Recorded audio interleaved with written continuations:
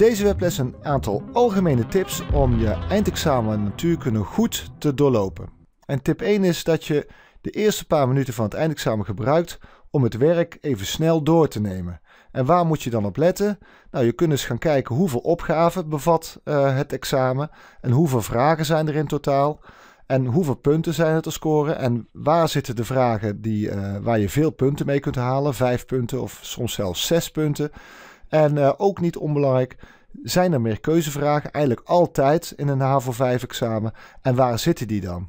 Elk examen bestaat, is opgebouwd uit een aantal opgaven. En een opgave dat gaat over één onderwerp. Vaak krijg je daar een inleidend verhaaltje bij. En alle vragen die uh, in, dat, in die opgave zitten, die hebben allemaal met datzelfde onderwerp te maken. Je mag best uh, zelf je volgorde kiezen waarin je die opgave gaat maken. Dus als je aan het begin van het examen het examen doorbladert en je ziet dat de tweede opgave dat die heel makkelijk is, dat je die goed hebt geoefend, nou dan is er niets wat jou let om te beginnen je, je examen te beginnen met die tweede opgave. En uh, je kunt zelfs dan nog zeggen: schuif nou die opgave die je het allermoeilijkste vindt, zet die dan op het einde van je examen. Mocht je tijd uh, in tijdnood komen, dan kost het je alleen maar een gedeelte van de moeilijkste opgave. En um, zorg ervoor dat wanneer je nog fris bent, uh, dat je dan de, de opgave waarbij je makkelijk je punten kunt scoren, dat je die dan ook gaat doen. Zorg er wel voor dat als je je opgaves uh, in een andere volgorde maakt, dat je elke opgave begint op een nieuw blad. Dat is fijn voor jou en is ook fijner voor degene die het moet nakijken. Nou, zoals ik al zei, elke opgave bestaat uit een aantal vragen. Um, het, de opgave kun je in een uh, verschillende volgorde maken. Die hoef je niet uh, aan te houden zoals ze in het examen staan. Maar doe alsjeblieft niet hetzelfde met de vragen, want de vragen binnen een opgave kunnen wel met elkaar te maken hebben. Dus dan Snij jezelf in de vingers als je ineens begint met de vierde vraag van een opgave, want dan heb je uh, heel vaak de kennis van die eerste drie vragen heb je nodig. Hoeft niet eens direct te zijn dat je gegeven nodig hebt, maar wel um, dat je dan al in het probleem gegroeid bent.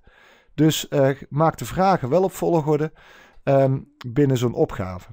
Let bij elke vraag ook op het sleutelwoord, daar kom ik dadelijk nog op terug. En heb je te maken met een rekenvraag, um, eindig dan elke rekenvraag met uh, jezelf drie dingen af te vragen. Geef ik antwoord op de vraag? Heb ik gelet op significante cijfers? En ben ik de eenheid niet vergeten? Hoe zit het nu met die sleutelwoorden?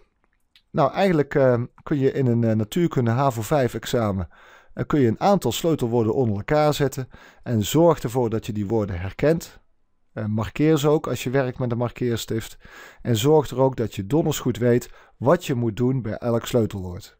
Nou, ik zet ze even snel onder, uh, onder elkaar op een rijtje. En het eerste sleutelwoord is bereken. En wanneer de vraag begint met bereken, dan wordt er, nou niet helemaal onlogisch, wordt er een berekening gevraagd. En let erop, alleen een formule opschrijven is altijd maar 0 punten. Dus schrijf die formule op en doe er dan wat mee. Vul er uh, in jouw ogen goede waarde in en ga er dan mee rekenen. En zo kun je al wel het punt voor de juiste formule verdienen. Staat er bepaal, dan uh, moet je heel goed opletten, want dan heb je uh, bij deze vraag heb je zeer waarschijnlijk een grafiek of een tabel erbij gekregen en dan moet je iets uit die grafiek of die tabel halen. En uh, dat is dan vaak een, een waarde die je kunt aflezen. En met die waarde kun je vaak ook vervolgens weer moeten gaan rekenen. Dus bepaal wil niet zeggen dat je totaal niet moet rekenen, maar je, begint altijd met het zelf tevoorschijn toveren van zo'n gegeven uit een grafiek of een tabel. Staat er bepaalde constructie, dan weet je ook dat je iets moet gaan tekenen. Je moet uh, een tekening maken of iets doen in een tekening. En dat heeft dan heel vaak te maken met uh, krachten of met uh, de hefboomwet.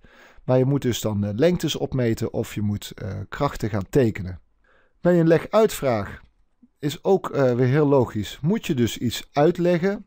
En als je daarbij de mogelijkheid ziet om die uitleg te geven aan de hand van een formule, doe het dan ook en geef dan ook die formule. Begin de vraag met geef, dan hoef je geen uitleg te geven. Dan ehm, kan een woord kan al genoeg zijn of een korte zin. Bij een toonaanvraag, dat is eigenlijk een soort weggevertje.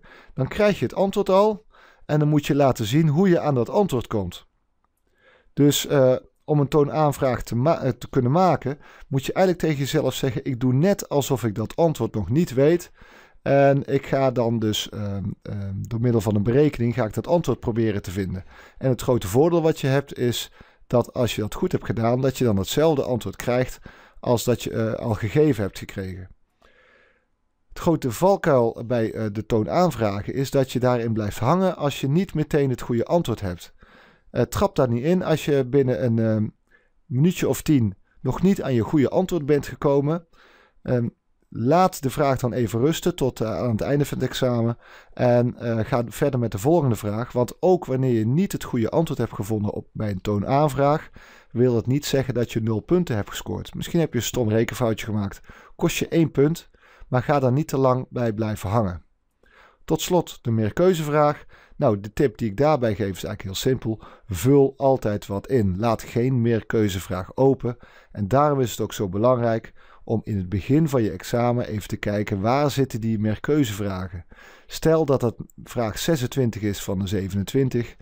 Wees dan niet zo onverstandig om uh, in tijdnood te raken en daardoor die meerkeuzevraag niet gemaakt te hebben. Maar laat de meerkeuzevraag niet leeg.